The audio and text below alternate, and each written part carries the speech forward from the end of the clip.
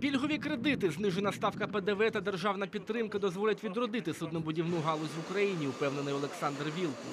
Був на Миколаївській корабельні. Каже, працівники бідкаються. Кількість замовлень суттєво знижується. Кваліфіковані кадри йдуть працювати з Миколаєва до Франції, Нідерландів, Китаю, Туреччини. Депутат переконує, воєнний стан негативно впливає на економіку регіону. Десятки тысяч людей здесь, в смежных отраслях, могут оказаться просто без зарплаты. Не хотят работать со страной с непонятным военным положением. Я 19 лет проработал на производстве, мы из промышленности.